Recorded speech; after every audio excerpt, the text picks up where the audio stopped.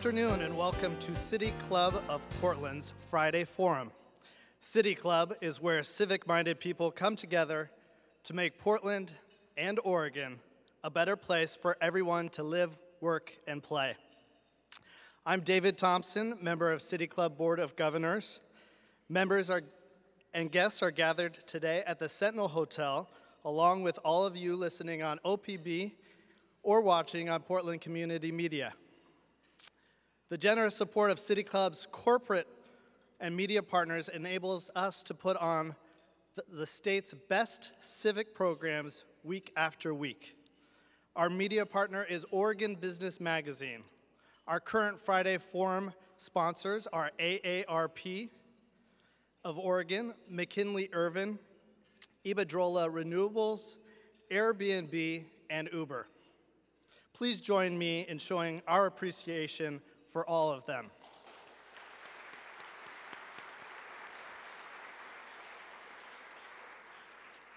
At next week's Friday Forum, Representative Kurt Schrader will join Sandy McDonough, my boss, the Portland Business Alliance, in a conversation about his experience being a blue dog in a red house and working across the aisle to try and avoid a government shutdown. You can learn more about City Club events, purchase tickets, and become a member at pdxcityclub.org. As always, we will be live tweeting today's program. You can follow along and join the conversation using the hashtag PDXCityClub. Later in today's program, Carrie Richter will be facilitating a Q&A session with those in the live audience. Asking questions is a privilege of PDX membership. But anyone in the live audience here at the Sentinel may write a question on one of the index cards found at the center of your table, hold up the card, and a City Club staff will collect them before and during the Q&A session.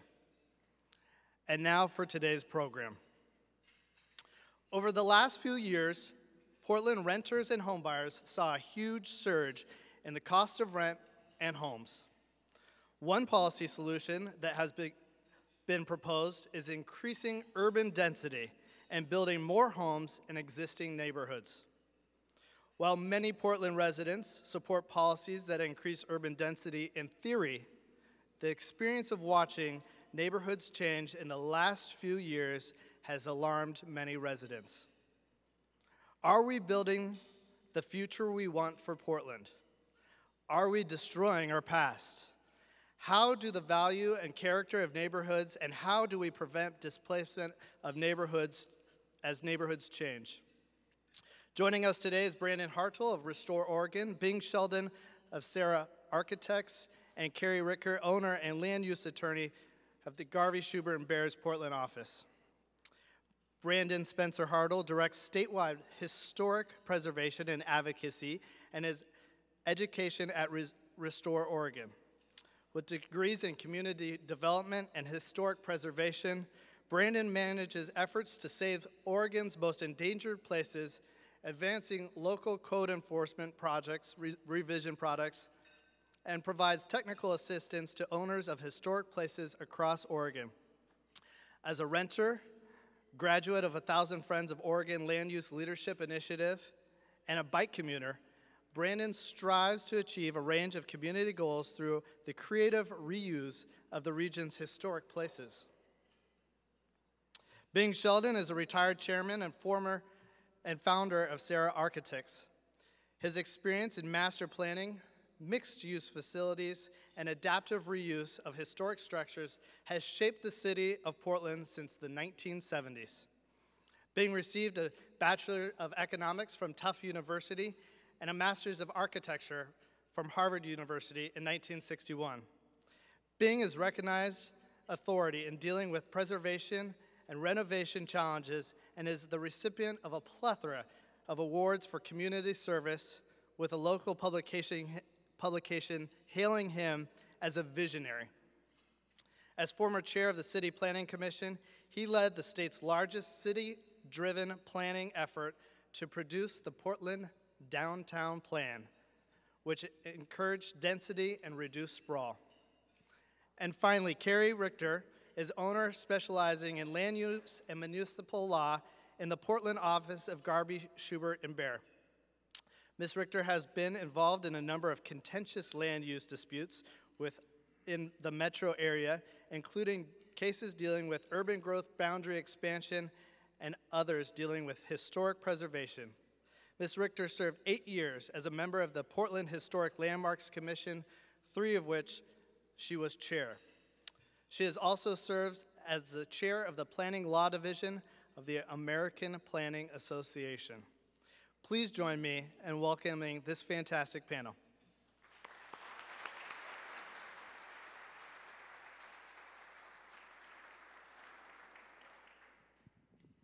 Good afternoon. I'm Carrie Richter, and we are going to open um, this present discussion this afternoon with a little bit of a state of the city, uh, a little background about how we got to where we are with density and, and historic preservation. The current population of the Portland metro area is 2.3 million people. In the next 30 years, it is expected to increase by 750,000 people to exceed 3 million. Portland added a little over 34,000 people since 2010, more than Washington, Clackamas, or Clark counties, uh, a total reversal from where we were 20 years ago. So far this decade, the city has been growing at almost twice the rate as it did in the 1990s. The density established in Portland is the result of our urban growth boundary, which was established in 1979. Since its creation, the Metro UGB has been expanded to include 13% more land from where it was originally drawn, but the population of the metro area has increased 62 by 62 percent. Portland, a city that is largely landlocked between other metro jurisdictions, has taken a strong policy position of encouraging greater densities, particularly within the central city, the inner east side, and along transit corridors. The market, coupled with more dense development codes, have driven most all, almost all new development towards existing centers and main streets. People want to live where they can walk to things, where jobs and services are close by, and where transportation is less expensive. This has placed intense development pressure on those 15-minute neighborhoods. Impacts including increase in land prices, which in turn encourages demolition and replacement of single-family homes with single-family or multifamily structures, which comes with a whole host of impacts, including additional traffic, parking, loss of open space, and loss of architectural continuity.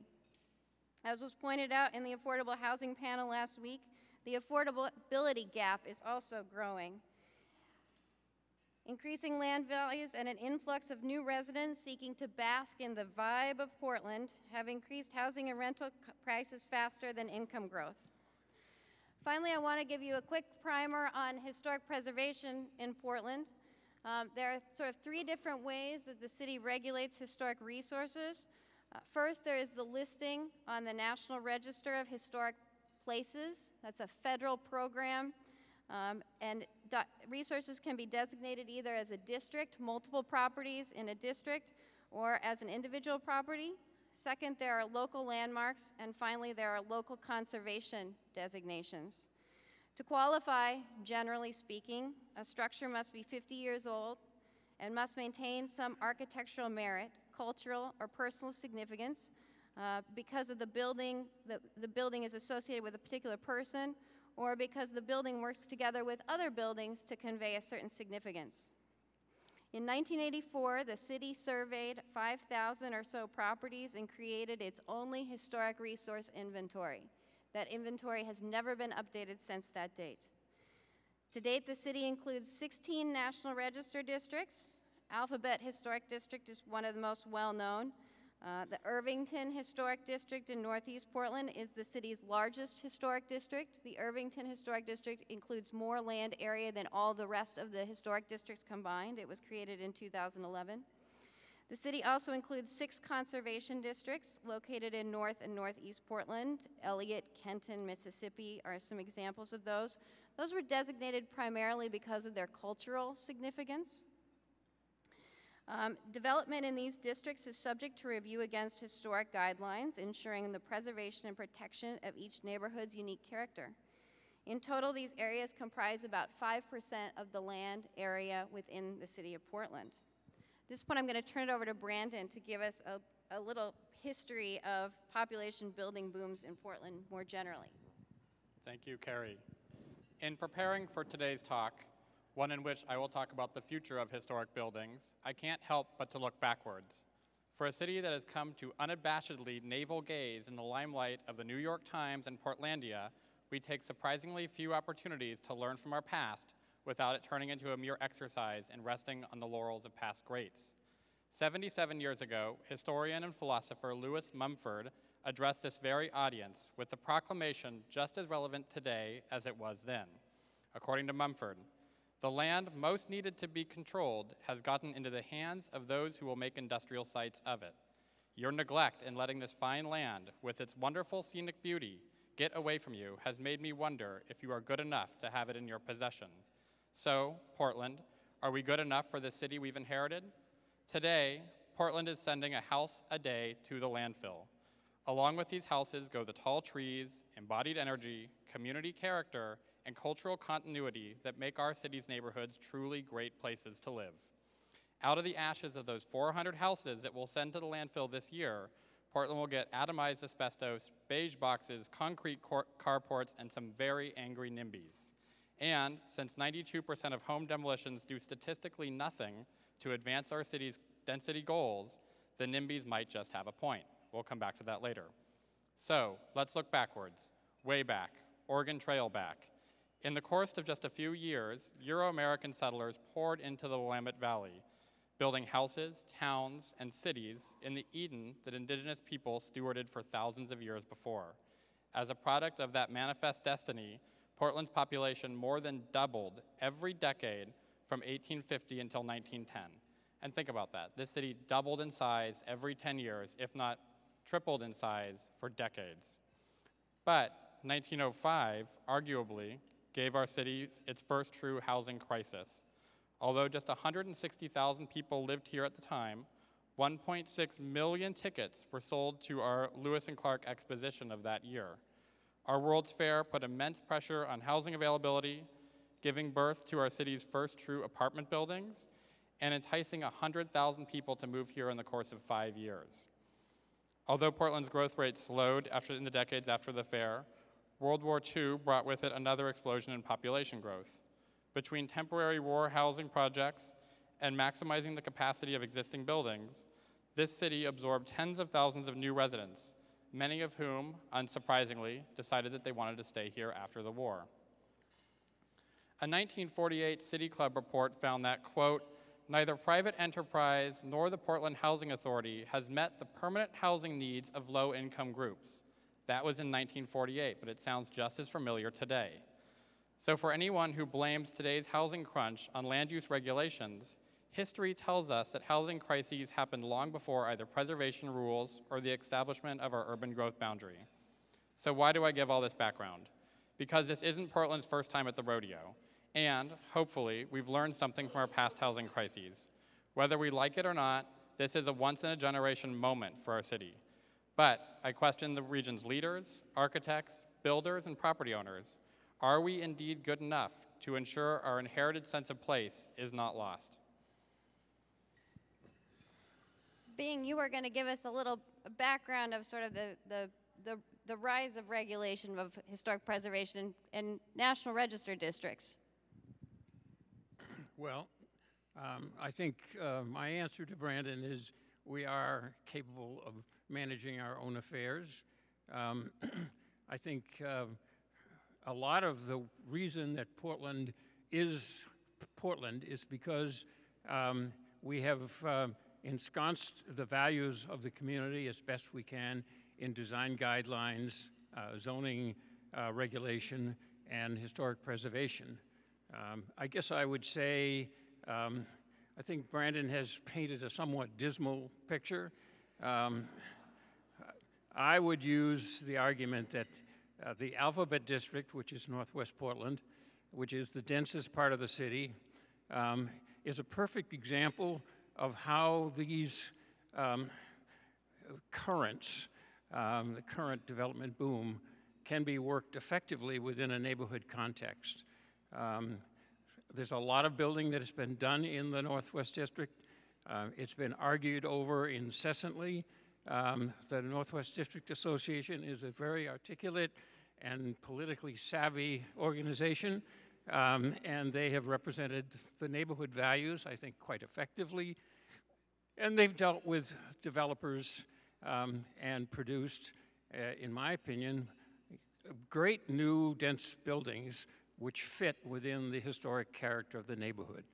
So to me, um, the Northwest Association is an illustration of how the city can accommodate density, uh, make it consistent with neighborhood character, and as long as we have active participation from the citizens of that neighborhood, the values that they value will be protected. And to me, that's a bottoms-up approach to how uh, the citizens can engage themselves and guide development.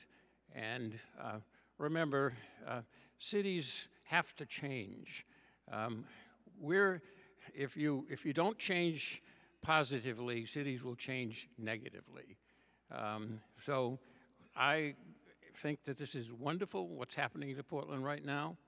Um, I can tell you that when we drafted the original downtown plan, we put in the document that we wanted 5,000 residential units in downtown in 1973. Not anybody, me included, thought that that would ever happen. Now, I mean, so from my point of view, this is wonderful. Bring it on.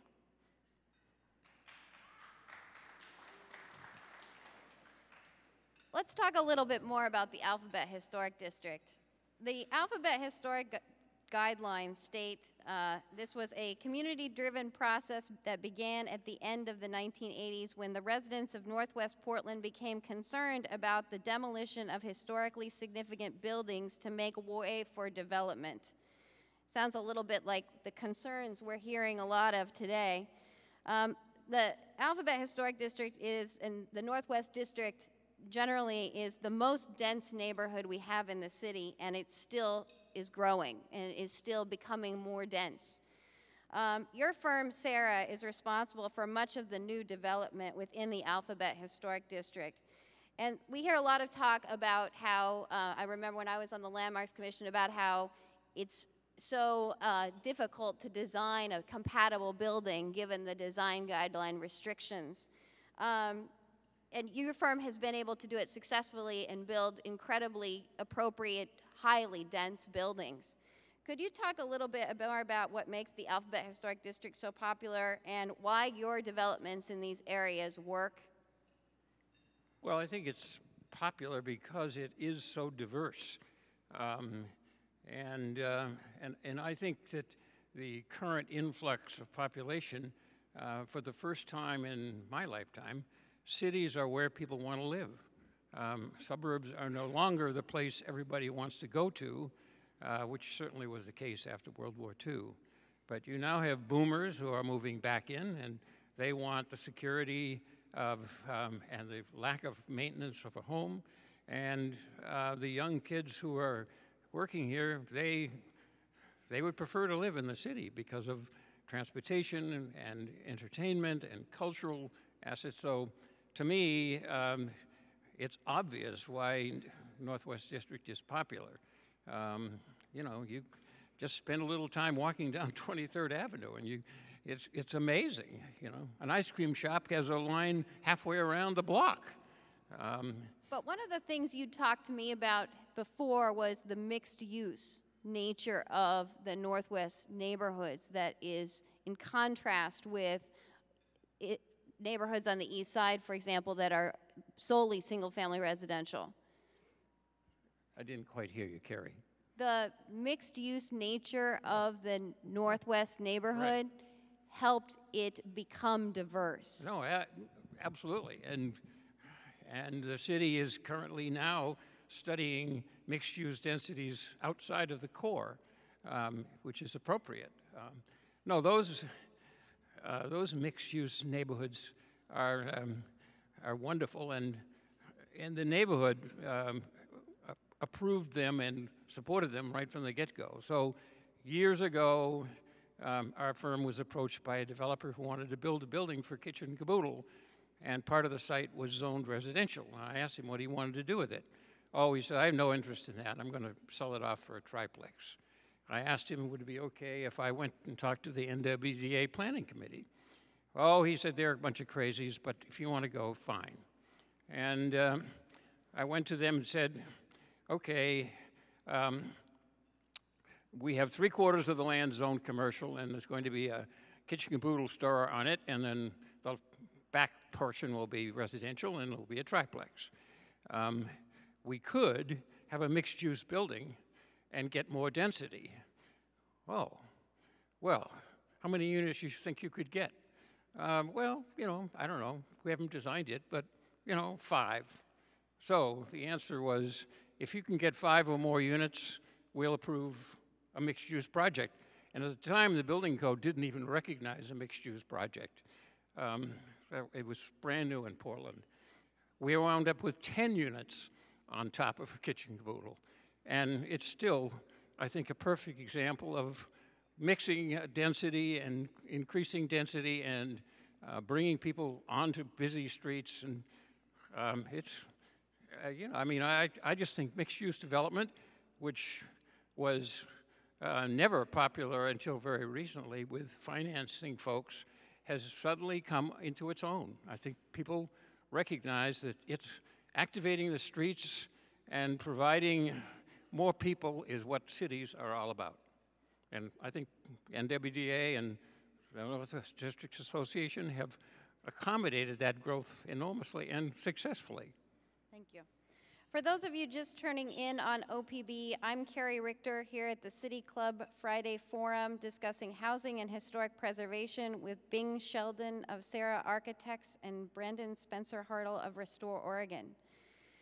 Brandon, give me some success stories associated with preservation in recent history in your mind. Absolutely. I think one of the biggest success stories for preservation is that preservation isn't about house museums, and preservation is about finding a route to sustainability.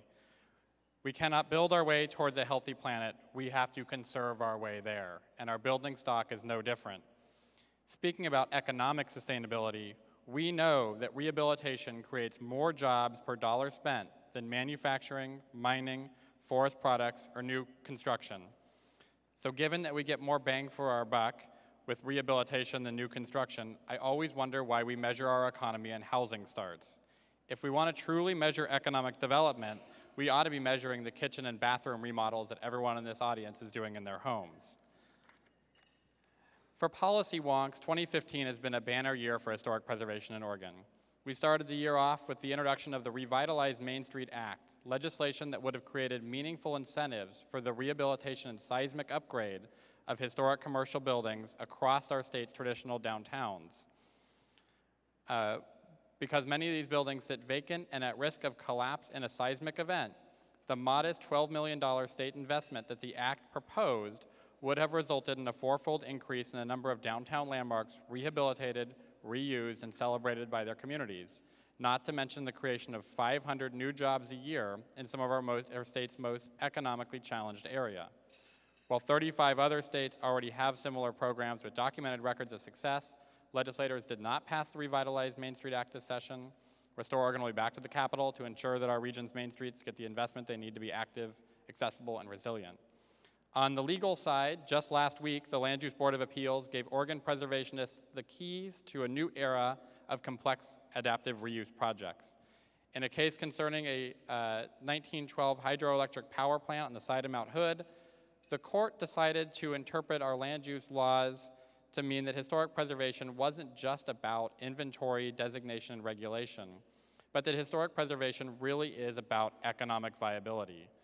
In their decision to allow this small power plant to adapt to a commercial use, the court has given the go ahead for scores of underutilized warehouses, schools, barns, and churches across the state to receive a zoning accommodation that will bring them back to life in a big way. In their decision to allow obsolete historic buildings the flexibility to be adaptively reused, the Land Use Board of Appeals took one more practical step in modernizing our landmark planning system. For the first time in 40 years, many of our state's most challenged historic buildings, especially those outside of Portland's core, will have a practical path towards their reuse and preservation. And finally, I want to say one thing about affordable housing. Historic buildings in downtowns across Oregon have been home to affordable housing units for decades. The past year has ushered in a new wave of affordable housing projects inside of National Register listed historic buildings.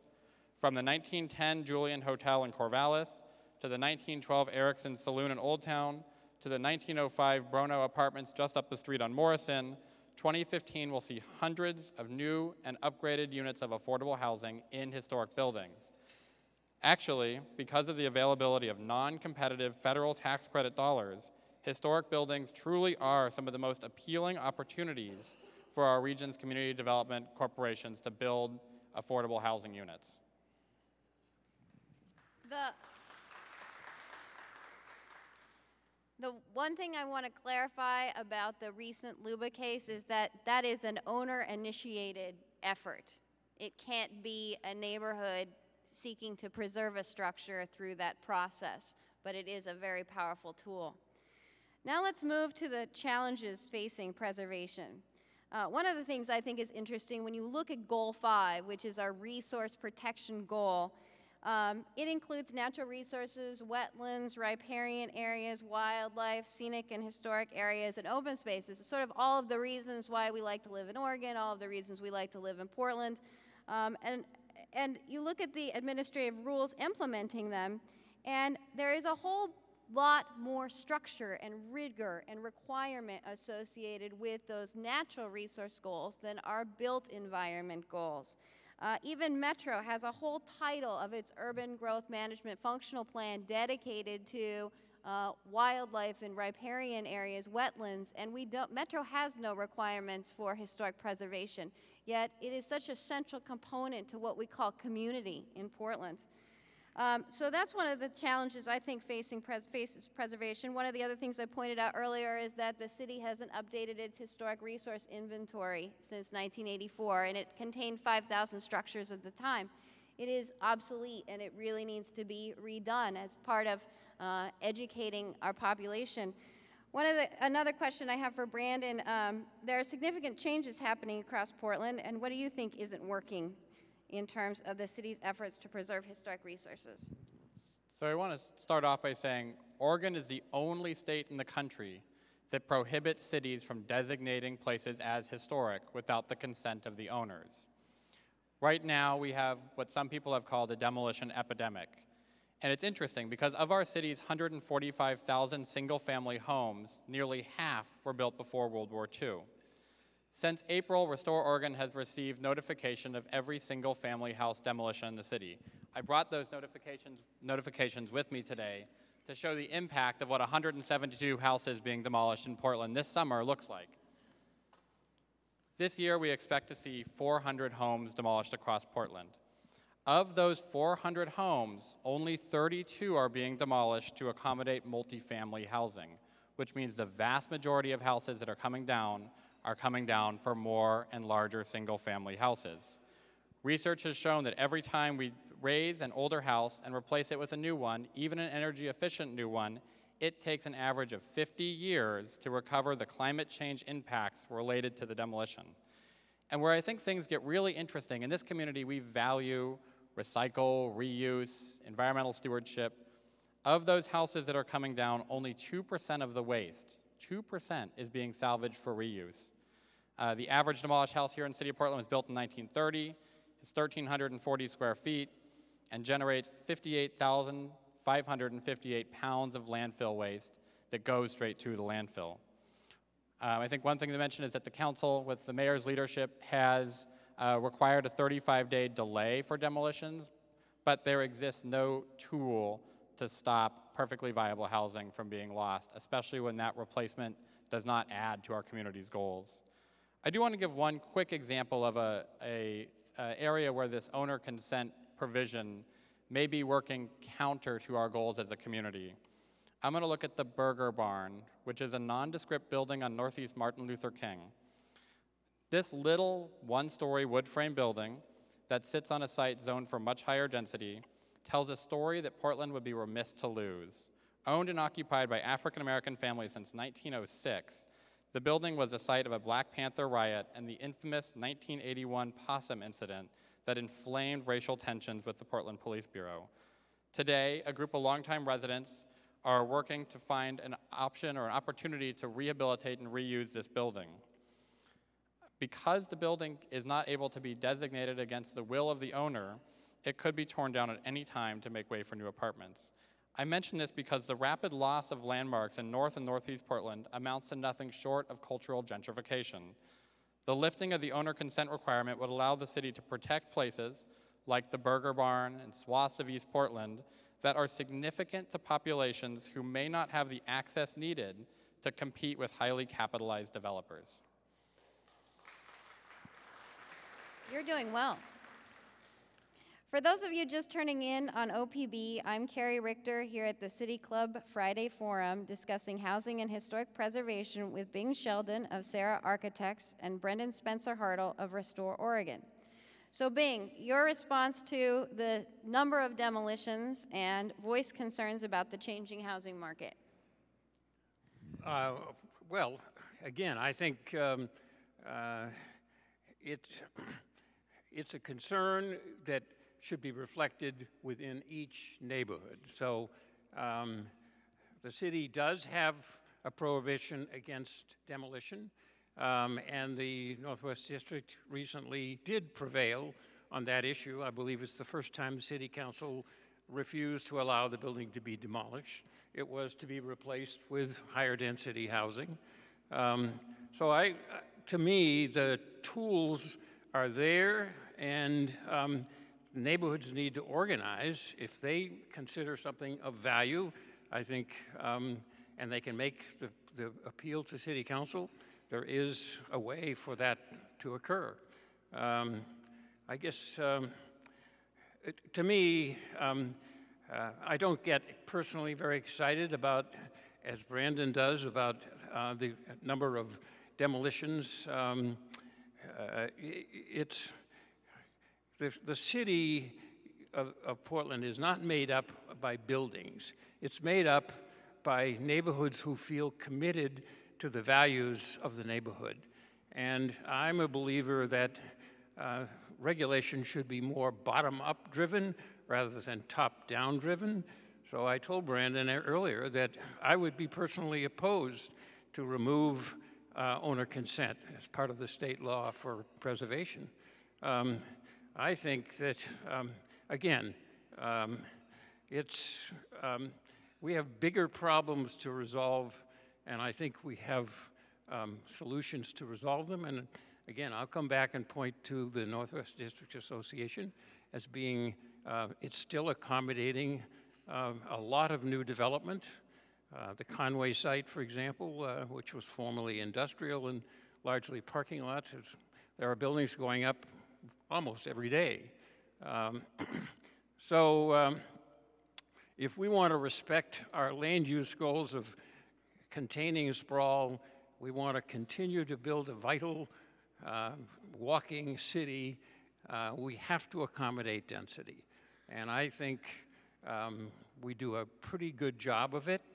Um, we could do better, of course, but again, I come back to understanding that it's really up to the citizens who live within their community to figure out what's valuable to them, what do they want to protect, um, and, um, uh, and, and go for it. Um, so, I mean, I, in this case, I think from a land use point of view, the motto of the city that works, I think Portland does work. Brandon, you want to do you want to respond? So one of the challenges in regards to the single family home demolitions, like I mentioned, 92% are followed by new single family houses.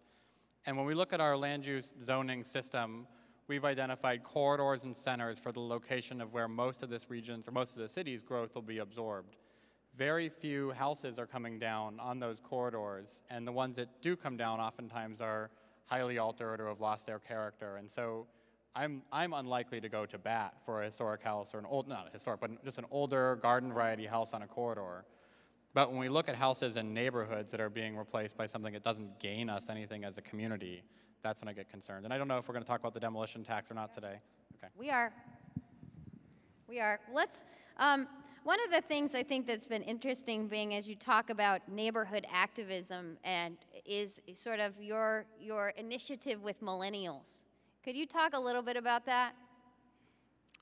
Well, um, since it is obvious that we have a lot of new immigrants to the city, most of whom are millennials, um, I actually gathered a group of them together and said, um, Well, what do you think of Portland? And the answer was, Well, it's wonderful. It was always like this. And I said, Oh, no, it wasn't. Um, and uh, what do you think about the future of the city? Oh, it'll always be like this. No, it won't always be like this.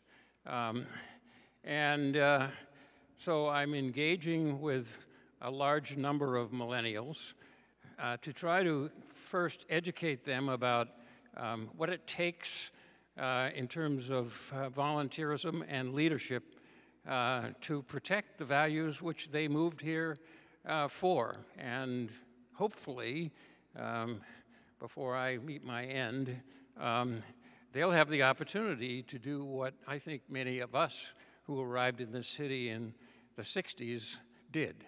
Uh, we changed it, and we changed it for the better.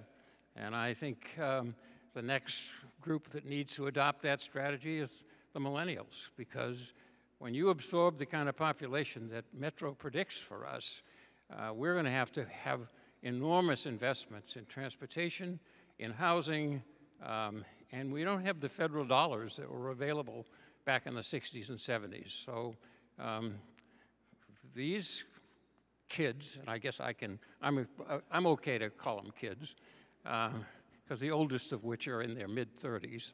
Um, these kids have to understand that the future of this city rests with them, and they have an obligation. And uh, so I'm going to kick them and Okay, let's talk a little bit about the demolition tax. The mayor has put forward the idea of a demolition tax $25,000 for the demolition of the building, plus a $25 charge for each year that the building is old. Uh, some have claimed that this will simply deter builders from constructing lower cost residents, instead, opting to cover financial losses from the tax by building structures that will be more expensive. I want to get your thoughts on Mayor Hales' proposal. Bing, do you want to go first? Um, sure. I guess I would like to know uh, what, what, what is the revenue going to go towards? Uh, It's going to go towards affordable housing. Affordable housing. Well, again, I guess um, that won't build the kind of the number of units we need, but I think it's uh, certainly a, a reasonable proposal. I don't think that um, that would discourage um, uh, people from uh, I mean, it might discourage some people from tearing something down, but again, I suppose um, to me it's a reasonable trade off. If, um, if the economics of the market predict that a, a, small house should get replaced with a larger house, uh, the developer has already concluded there will be enough um, gain in that exercise to um, cover all the expenses, and I, I don't think another 25,000 is unreasonable. I guess I would hope, however, that we don't then relax and assume that that's going to pay for the kind of affordable housing inventory that we need in this town. Um, Seattle has a much better program for how to build affordable housing, and I would love to have us have that program here because their uh, affordable housing needs are more than adequately met by a bond levy that the city has passed three times in each time five years. Uh, so that's the scale of what we need to do in this town. So I guess the only thing I'd say is it seems like it's only a token. Brandon, your thoughts on the demolition tax? So I think one thing I do get excited about is that only 2% of building material from those single family houses are being salvaged for reuse. So I mentioned 400 houses will come down this year. The vast majority will come down for new single family houses. The impact of that demolition, this takes out any concrete that's recycled, metal that's recycled, that salvage material. The impact of those demolitions will be sending 23 million pounds of waste from Portland to the landfill. Let's look at that in the equivalent of paper. That's 2.5 billion pieces of copy paper. So for everyone sitting in this room, that's the equivalent to crumpling and throwing away 4,100 pieces of paper. That's a really big environmental impact, and we've chosen to look the other way. So I think the thing that becomes interesting about taxing landfill, taxing demolitions, is how we can achieve broader community goals through what that money might go towards, but also through discouraging bad behavior. I'll pick on the mayor a little bit since he's here in the front row. I think that one of the opportunities as we have a good public dialogue about what is the external cost of demolition on the communities, and I'm glad we're having it now, is whether or not we need to incentivize deconstruction. The, the tax as proposed is flat on demolitions, and demolitions only of single-family houses in zones zoned for single-family houses. But I would encourage the mayor, and I'll be at city council next week to encourage the mayor and council to run with the idea to think about how we can reward good behavior like deconstruction, salvaging materials, like getting the neighborhood association to approve the plan for a new building that goes on the site, um, or finally coming up with ways to encourage affordable housing or, or innovative types of housing on the sites where we might be tearing down single family houses. And I don't, I don't personally believe every single family house is worth saving. Many of them can be replaced with something better. But when we have a restrictive zoning code and we don't have empowered neighborhoods, what we're getting really isn't better for our community. So we have to cover those external costs where we're seeing development that's not meeting the goals that Bing's talking about. For those of you just turning in on OPB, I'm Carrie Richter here at the City Club Friday Forum discussing housing and historic preservation with Bing Sheldon of SERA Architects and Brandon Spencer Hartle of Restore Oregon. Let's talk a little bit about other creative solutions. One of the things that struck me about the affordable housing panel last week was the discussion about the cost $100,000 to construct a, a new housing unit in town and your choices are $100,000 for a new housing unit or a tent, and there's nothing in between. And it seems to me that historic preservation provides that potential in between. And um, Brandon, you have some, um, and Restore Oregon has some ideas about how we could encourage that in between. So, for those of you who were here last week, there's a small neighborhood developer, Eli Spevak, who talked a little bit about how we might make better use of our single family zones. Yesterday, our neighborhoods had big families packed into small houses. Today, our neighborhoods have small families packed into big houses. And our zoning code doesn't make it easy to break from that trend. We need to ask what is the spirit of Portland's neighborhoods? What are we trying to protect when we talk about neighborhood preservation? For me, and I think the common answer is more about the buildings than what happens inside of them.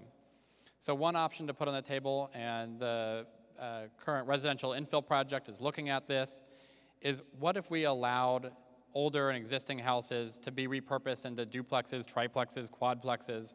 What if we can find additional density in areas that we haven't critically thought about before? What if we had a situation where you could have more than five unrelated adults living in a house that's already 2,500 square feet? Citywide, we have only 7,000 plexes. I live in one um, because the code takes single family quite literally. I think there's an opportunity to innovate within our single family zones. And along these lines, I'm going to throw out an idea that excites me. I think we need lots of basement housing units. I'm all about basement housing units. Let's permit lots and lots of them. And here's why. Because we have a seismic elephant in the room, and it's in all of our rooms around long term policy discussions related to the built environment. Most of our city's houses will probably survive the earthquake, but unless they're tied to a good foundation, it could be months or years before that house is occupiable again. If we think we have a housing crisis today, just imagine how bad it'll be after a 9.0 earthquake and we're all living in a park. Having more basement housing units and looking at creative ways to maximize our existing single family houses will make us seismically resilient and also help accommodate a variety of housing types geared towards different income levels. Bing. What kind of solutions do you see that we need to, to instigate now to keep Portland a place where millennials want to live?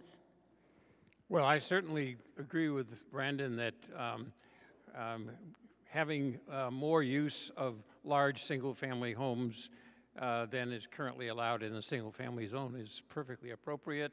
Um, It's what happened in the city, frankly, uh, during World War II. Um, uh, we we rented this huge Victorian house when we arrived here in '64 for $75 a month. There were uh, sinks in every bedroom, and it was clear that that house probably accommodated eight to 10 uh, worker bees working in the shipyards. And um, uh, so I, I think that um, we need to look at all kinds of uh, innovative ways to accommodate um, people in existing housing, and that would be um, basically cost effective. Uh, it is true that new construction is expensive, uh, but rehabilitating older historic homes to accommodate smaller uh, single occupants would be a perfect solution. So I'd agree with it. We are now going to open up the Q&A portion of the program. If you have written a question on an index card, please hold it up high so the city staff or city club staff can collect it from you. We will now take questions from the audience. As always, we invite members to the microphone to ask their questions. Asking questions at the Friday Forum microphone is a benefit of City Club membership, and membership is open to everyone. I can't find, I can't see for the lights. Please identify yourself as City Club member and ask your question in 30 seconds or less. And we Uh, don't, and we Wendy don't. ha- Rahm, uh, member of City Club. The story of early Portland is told in the approximately 100 historic buildings in the West End where we are. They date from 1880 to 1935. Most are not protected by historic register status. Um, the West Quadrant Plan building heights are for 350 and 425 feet plus for this area, 425 feet allowed over this building, for example. Um, and this will threaten uh, many of these buildings and our history. Uh, it will also threaten many affordable housing units in this neighborhood. Um, we have one of the densest neighborhoods for affordable housing in the West End. Um, should these heights be revisited for the West End, and should the demolition tax also be extended to the West End? Thank you. Well, I think um, uh, I think clearly um, uh, that tho- those heights were very controversial at the time they were uh, dreamed up uh, by the uh, Central City Plan, and uh, uh, I guess I would say um,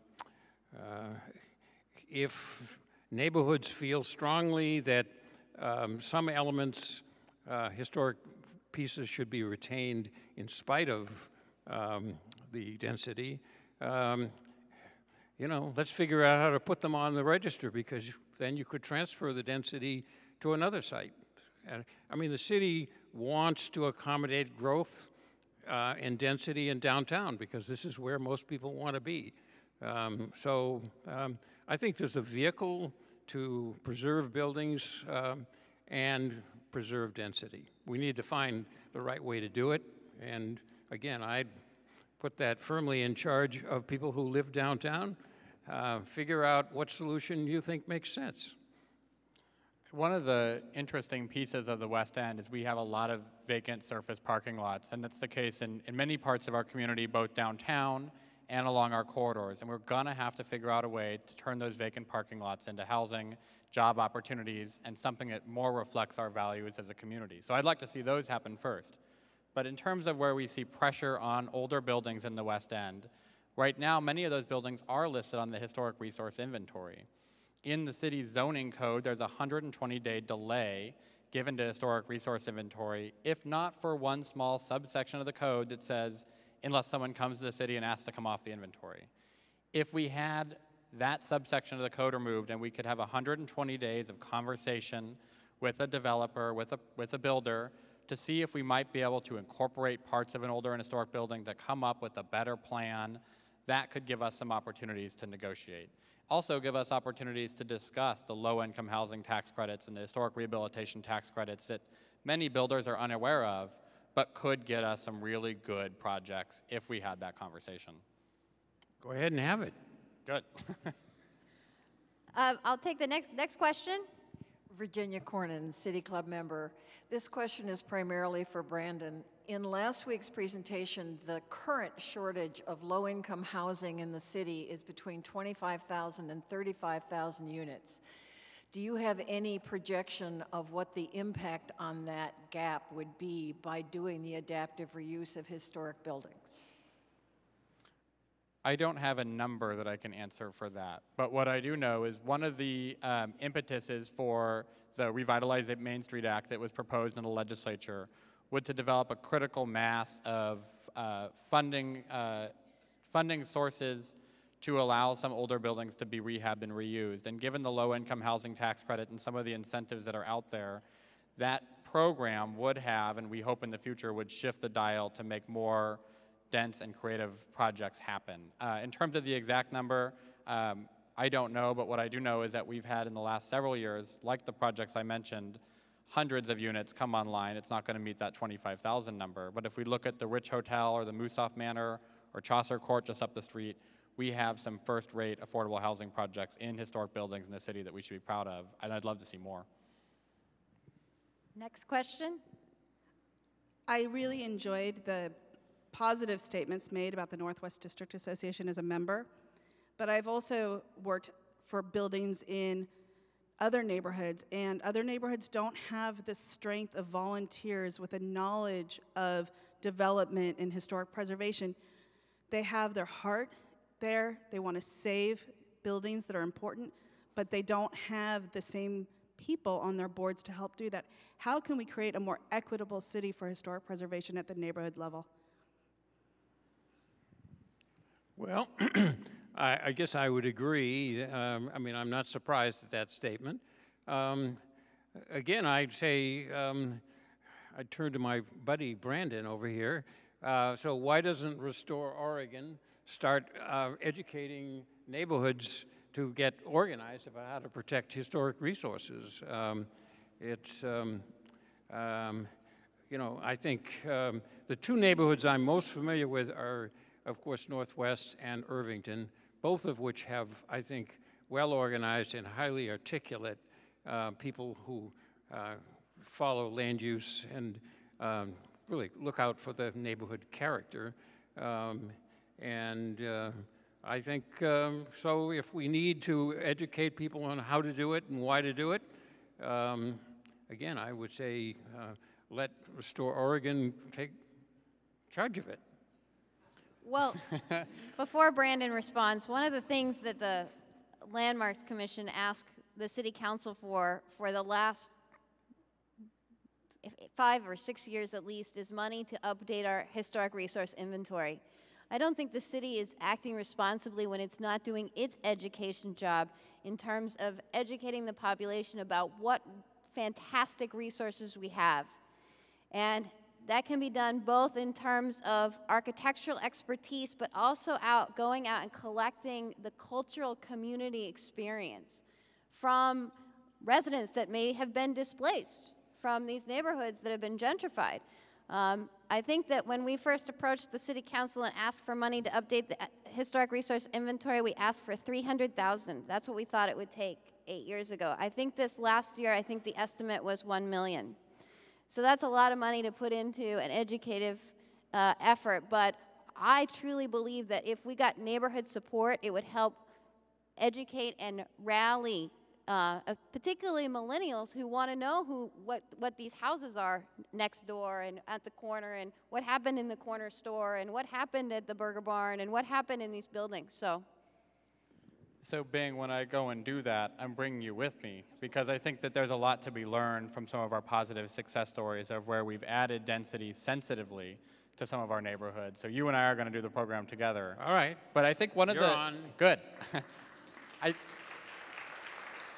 I think one of the challenges, especially as we look outside of our historic core, is we don't have places that are designated that the you know the community um, has been empowered to rally around. We only have one designated historic place east of 82nd. That's crazy. That's a big part of the city that has many buildings and many places to be proud of. not only architecturally with some great mid-century modern buildings, but also culturally that represent the significance of that part of town. I'm to mention one quick example, and that's the Jantzen Beach Carousel, which was a, a place on uh, Hayden Island where people of all backgrounds, income levels, um, kind of life situations would take their kids to go enjoy a carousel. And three years ago, that carousel was put in storage so we could get a large big box development. And that carousel is yet to be uh, reinstalled as promised. That was a neighborhood that fought to keep that one piece of its identity, but didn't have the political support and the bigger community support to do it. Our organization has been working to get that carousel back and get that back to being a place where people can enjoy. But I think we've got a lot of work to do, and I'm glad that you asked the question because we, we really do need to think creatively about what places are special. They're not all beautiful historic buildings, but they may be special, and we've got to figure out ways to keep them around. Absolutely. Another question. Thank you. My name is Catherine Nikolovsky. I'm a City Club member. The idea of 400 homes in Portland being sent to the landfill every year is a powerful image. But when it comes to the demolition of single family homes and the expansive residential landscape that reflect the neighborhood identity of Portland, it appears that much of the demolition that upsets a community is not solving the problem of density, it's accommodating a new culture of higher income residents, and in its trail creating a patchwork of neighborhood socioeconomic extremes we haven't quite experienced as a city before. If we want communities to be responsible for upholding the values of their neighborhood in a bottom up approach, as you say, how much responsibility should the city leadership have to facilitate community influence of long term residents who feel like they may be powerless as they're experiencing the threat of displacement, root shock, or pricing out? Bing. Uh, well, again, I think that was the original purpose for the city uh, helping to support and fund neighborhood activation. And uh, the, the city does have, I can't remember how many, but there's, Charlie, you know how many neighborhood, how many? A hundred. Um, so um, it's, there, there is a, a, a sort of um, a, a, work plan for how neighborhoods can get support. Um, and, uh, you know, I guess maybe Brandon and I have to go out there and start telling everybody, hey, get organized. I, I, will say one thing, and, and, and the mayor and council, uh, effective in April, and why I get all these notices in the mail, gave neighborhood associations the ability, and, the individual in the room who wants to pay 1300 bucks, to delay for up to 95 days the demolition of a single family house. The process is complicated. A group of us recently got together to create a guide to help people through the process of receiving that delay period. But there needs to be more tools in place, probably from the city, that give neighborhood associations some power back to have good conversations about what's worth keeping and what's you know worth letting go.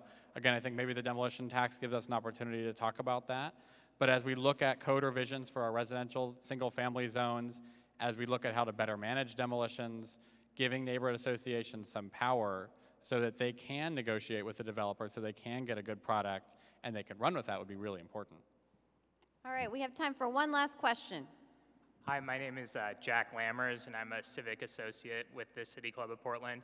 Um, Brandon, you mentioned that 2% of the only 2% of the waste from these uh, demolitions um, is reused.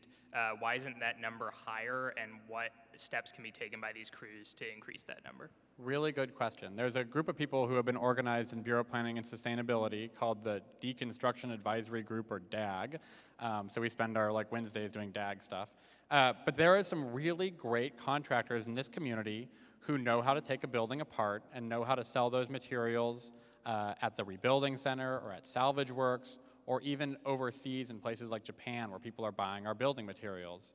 The challenge, though, is it takes more time to deconstruct a house an extra week or 10 days, and it actually costs a little bit more money than going out there with a backhoe. So for the addition of something like eight to twelve thousand dollars, we can pick a path to salvage up to 70% of a building for reuse here in this community or uh, out around the world. It creates more jobs, um, and the city actually has a small grant program established two weeks ago to encourage some test cases about deconstruction.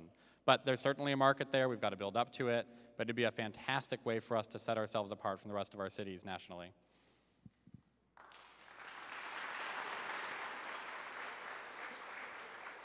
We have run out of broadcast time for further questions and we'll have to stop for the day. Please join me in thanking our panel and producer of the program, Andrew Davidson.